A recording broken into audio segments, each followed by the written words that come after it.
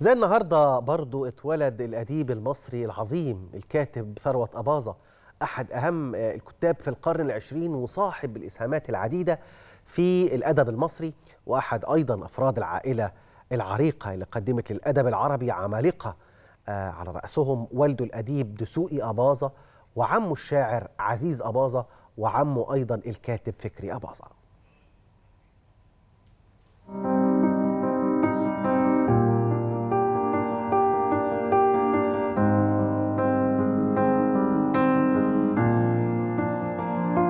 تحل اليوم ذكرى ميلاد ثروة أباظة أحد أهم الكتاب المصريين في القرن العشرين وصاحب الإسهامات العديدة في الأدب المصري وأحد أفراد العائلة العريقة التي قدمت للأدب العربي عمالقة من الأدباء على رأسهم والده الأديب دسوقي أباظة وعمه الشاعر عزيز أباظة وعمه الكاتب فكري أباظة. ثروة أباظة من مواليد الخامس عشر من يوليو عام 1927 في محافظة القاهرة وحصل على ليسانس الحقوق من جامعة فؤاد الأول عام 1950 وبدأ حياته العملية بالعمل بالمحاماة. بدأ مسيرته الأدبية في سن السادسة عشرة واتجه إلى كتابة القصة القصيرة والتمثيلية الإذاعية.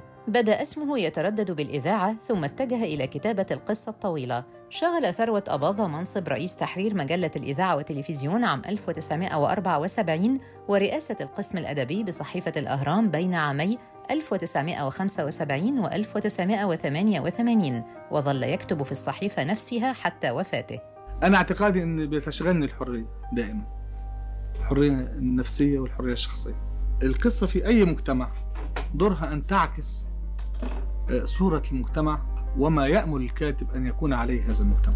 تولى منصب رئيس اتحاد الكتاب واختير عضوا بمجلس الشورى ثم وكيلا له كما كان عضوا بالمجلس الأعلى للثقافة وبالمجالس القومية المتخصصة ومجلس أمناء اتحاد الإذاعة والتلفزيون ورئيس شرف لرابطة الأدب الحديث وعضوا بنادي القلم الدولي. قام ثروة أباظة بتأليف عدة قصص وروايات تحول عدد منها إلى أفلام سينمائية ومسلسلات تلفزيونية. كما كتب للإذاعة أكثر من أربعين مسلسلاً وأربعين قصة قصيرة وسبعا وعشرين رواية طويلة. من بين أبرز مؤلفاته الضباب والغفران. وفاز بجائزة الدولة التشجيعية عن رواية هارب من الأيام التي تصف جو القرية بما فيها من شر وخير وحب وطمع عام 1959 رحل ثروة أباظة عن عالمنا في السابع عشر من مارس عام 2002 بعد صراع طويل مع المرض.